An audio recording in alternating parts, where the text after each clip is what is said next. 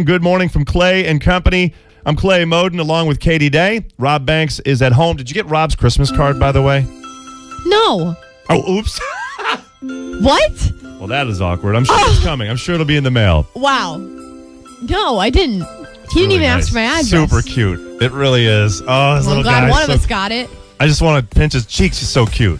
His baby, not not Rob. I might have to pinch Rob.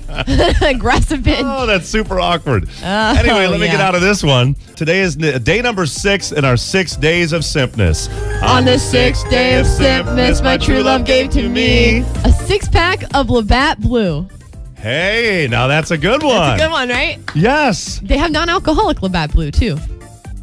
That's for people like me that All are, that if are you enjoy lame. the taste, but you don't want the, I gotcha. Yeah. I gotcha. But I think a beer is a great gift. Yeah. Laura, what do you think about beer for Christmas? If it were something that I really like and I don't buy all the time, I would be fine with that because my my one son likes Oktoberfest and you really can't find it like after Thanksgiving. So one year I did buy him a 12 pack of Oktoberfest for Christmas.